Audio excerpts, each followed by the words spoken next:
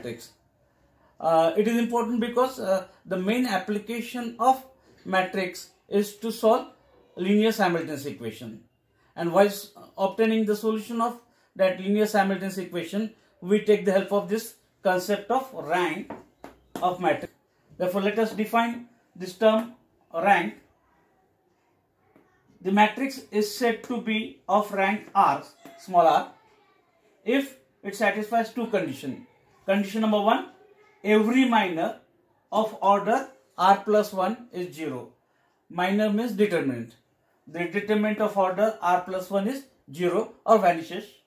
And second condition, at least one minor of order r is non-zero. If these two conditions are satisfied, then R is said to be the rank of that matrix.